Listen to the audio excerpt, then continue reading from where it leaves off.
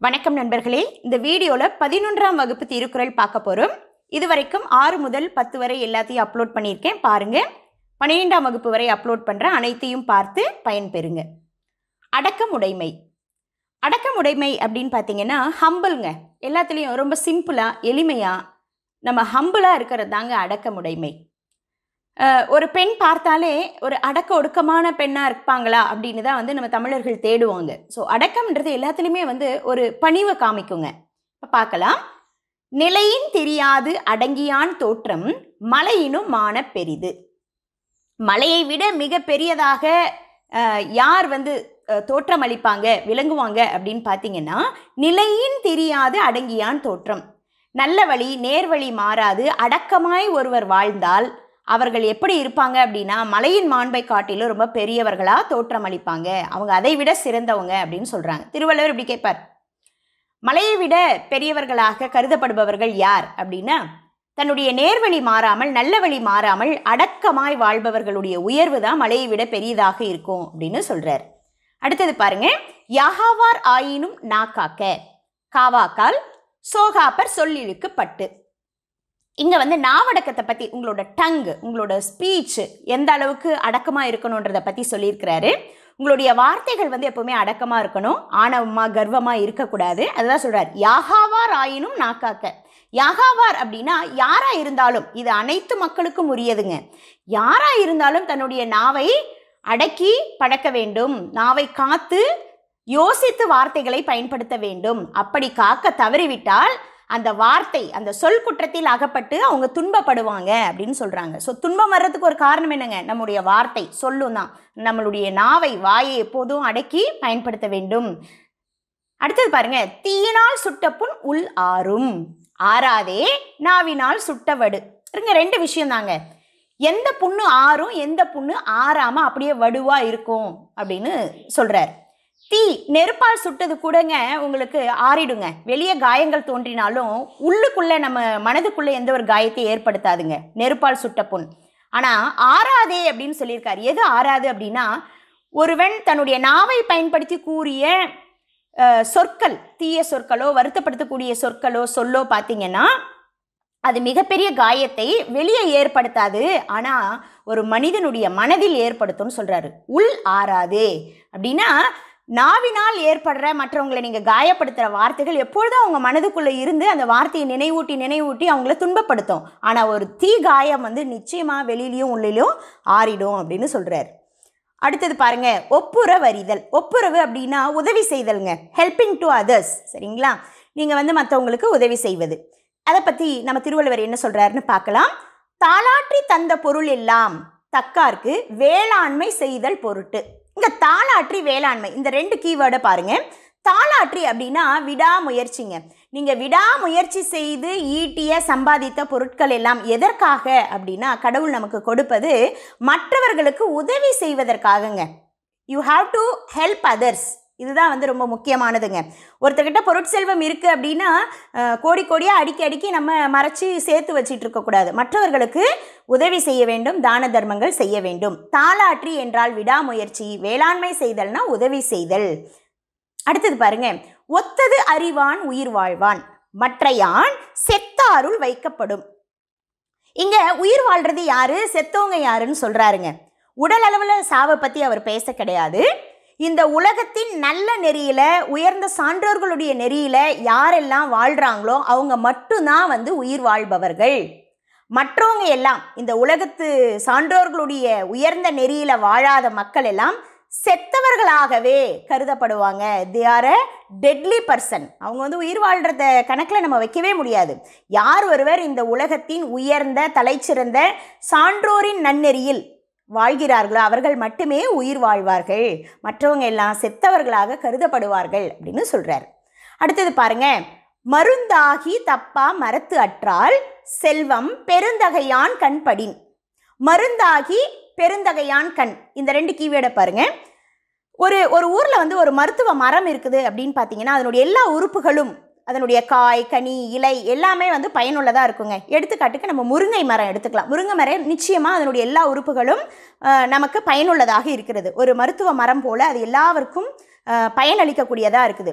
அந்த மாதிரி ஒரு ப பயனுள்ள மருத்துவ மரமாக யார் கருதப்படுறாங்க அப்படின்னா யார் பெருந்தகையான அதாவது நல்ல தாராள உள்ளம் படைத்த மனிதர்கள் இருக்கிறாங்களோ உதவக்கூடிய உள்ளம் படைத்த மனிதர்கள் இருக்காங்களோ அவங்கக்கிட்ட இருக்கிற செல்வம் பொருள் தான் இந்த மருத்துவ மரத்திற்கு ஒப்பாகும் அப்படின்னு சொல்கிறாரு அதுவே வந்து ஒரு கஞ்சன் உதவாத மனிதன்கிட்ட வந்து பணம் செல்வம் இருந்ததுன்னா அது ஒரு நச்சு மரம்.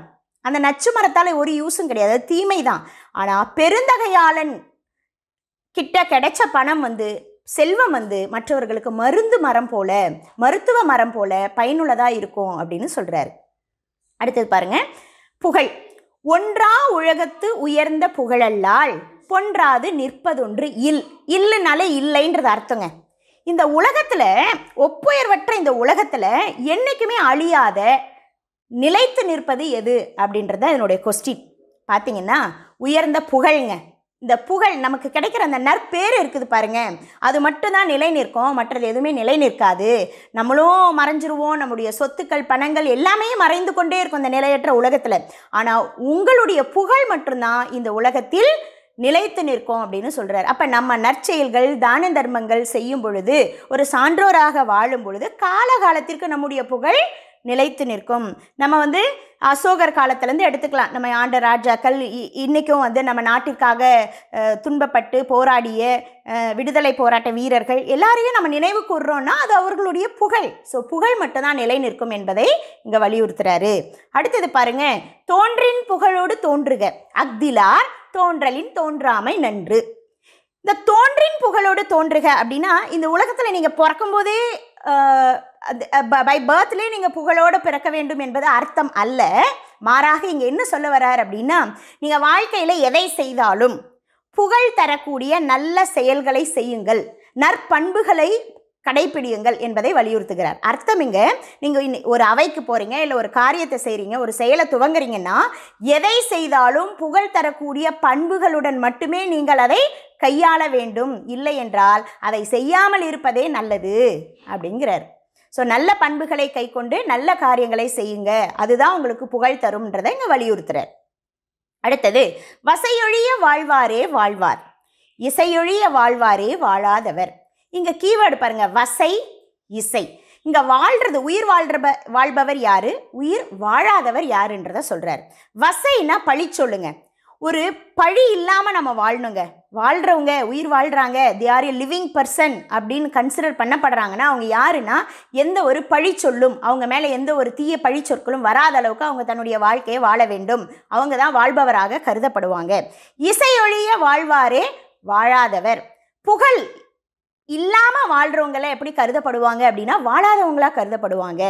ஸோ வாழும்போது நீங்கள் அப்போ எப்படி வாழணும்? பழி இல்லாமல் வாழணும் புகழோடு வாழணும். புகழ் இல்லாமல் நீங்கள் வாழ்ந்தீங்க அப்படின்னா நீங்கள் வாழாதவர்கள் நீங்கள் வந்து லிவிங் பர்சனாக வரமாட்டீங்க அப்படின்னு சொல்கிறார் ஸோ பழி இல்லாமல் வாழணும் ப்ளஸ் புகழோடு வாழணும் அப்படிங்கிறது தான் இங்கே அர்த்தம். அடுத்தது பாருங்கள் தவம். ஸோ தவம் உங்கள் எல்லாருக்கும் தெரியும். So that is prayer and meditation வேண்டிய வேண்டியாங்கு எய்தலால் செய்தவம் ஈண்டு முயலப்படும். சரி இப்போ கொஸ்டின் இப்படி கேட்கலாம். வேண்டிய வேண்டியாங்கு எய்தல். எதன் மூலம் வேண்டியதை வேண்டியவாறே விரும்பியதை விரும்பியவாறே பெற முடியும் அப்படின்னா தவத்தால் தாங்க.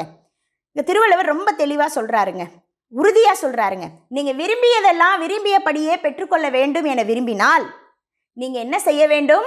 தவத்தை செய்ய வேண்டும் தவம் மேற்கொள்ள வேண்டும். தவம் செய்யும் பொழுது நிச்சயமாக நம்ம வேண்டுவது நமக்கு கிடைக்கும். அதனால் இப்பொழுது நீங்கள் வாழும்போதே அந்த தவத்தை முயன்று பார்க்கலாமே செய்து பார்க்கலாமே என்று நம் திருவள்ளுவர் சொல்கிறார் ஸோ தவம் prayer and petition prayer and meditation மூலம் நீங்கள் நிச்சயமாக உங்களுடைய விருப்பத்தை நிறைவேற்ற முடியுன்றத சொல்கிறார் அடுத்தது பாருங்கள் சுட சுடரும் பொன் போல் ஒளிவிடும் துன்பம் சுட சுட நோக்கிற்பவர்க்கு. சுடச் சுடரும் பொன் போல். இதுக்கு என்ன அர்த்தம்னா பார்த்தீங்கன்னா ஒரு பொன் கோல்டு உருவாகணும்னா பயங்கரமாக புடமிடுவாங்க. நெருப்பில் போட்டு பயங்கரமாக சுடுவாங்கங்க. அப்போ தான் அந்த பொன் வந்து ஒளிவிடும். பிரைட்டாக மாறும். அதுதான் கோல்டு எப்படி ஒரு பொன் உருவாக அது பலமுறை நெருப்பில் சுடப்படுகிறதோ புடமிடப்படுகிறதோ அப்படி தவத்தில் இருப்பவரை நல்ல நெறியில் வாழ்பவரை துன்பம் வருத்தும்னு சொல்கிறாரு துன்பம் அவங்களுக்கு தாங்க அதிகமாக துன்பம் வரும். துன்பம் வருத்த வருத்த அவங்களுடைய ஞானம் வளரும். இங்கே நல்லா பாருங்கள் ரெண்டு விஷயத்தை கம்பேர் பண்ணுறாரு இங்கே பொன் போல் போல்ன்ற ஊம உருவை யூஸ் பண்ணியிருக்காரு. இது வந்து ஊமையணி தெளிவாக ஸோ இங்கே ஒரு பொன் சிறப்பாக இருக்கணும்னா அதை பயங்கரமாக புடமிடுவாங்க நெருப்பில் போட்டு. நெருப்பு தான் அந்த பொண்ணை வந்து ரொம்ப பிரைட்டாக மாற்றும் அதே மாதிரி ஒரு மனிதனுடைய வாழ்க்கையில் ஞானம் வளரணும் விஸ்டம் நாலேஜ் வரணும் அப்படின்னா அவனுடைய வாழ்க்கையில் துன்பம் வந்தே ஆக வேண்டும். துன்பம் தான் அவனை சிறந்த மனிதனாக ஞானியாக மாற்றும் என்பதை நமக்கு திருவள்ளுவர் சொல்கிறார் ஆம் நண்பர்களே இந்த வீடியோ உங்களுக்கு பயனுள்ளதாக இருக்கும் என்று நான் நம்புகிறேன். உங்களுடைய தேவைகளை எனக்கு கமெண்ட்டில் கொடுங்க. தொடர்ந்து எல்லா வீடியோக்களையும் பார்த்து பயன்பெறுங்க. எல்லா சப்ஜெக்டோட டாபிக்ஸும் சாம் அகாடமியோட பிளேலிஸ்ட்டில் இருக்குது நீங்கள் போய் சப்ஜெக்ட் வைஸு பார்த்து பயன்பெறுங்க. நன்றி. எல்லா புகழும் இறைவனுக்கே.